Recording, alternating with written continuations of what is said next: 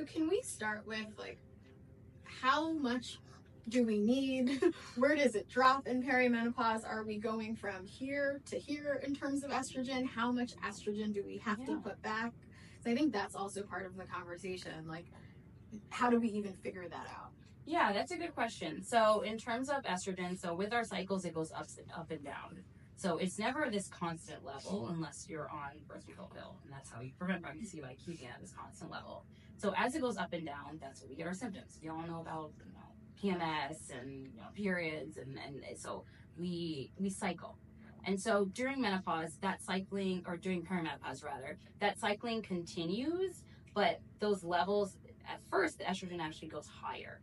So many women find that their periods get heavier right before, uh, right before menopause or in those few years before. So the estrogen actually goes high before it drops. So it's not like it goes like this, but it goes like this and then comes back down. Hmm. So you know we there's been studies that have tried to chart it in women. It's a, it's it's it's a moving target because it does depend on the time of your cycle, but we generally know that it goes up generally and go and comes down. That that plateau and that that steep you know dive down is what causes the symptoms. Mm. So that usually takes a few years, but that's when you're feeling your symptoms. That's when the symptoms are the worst.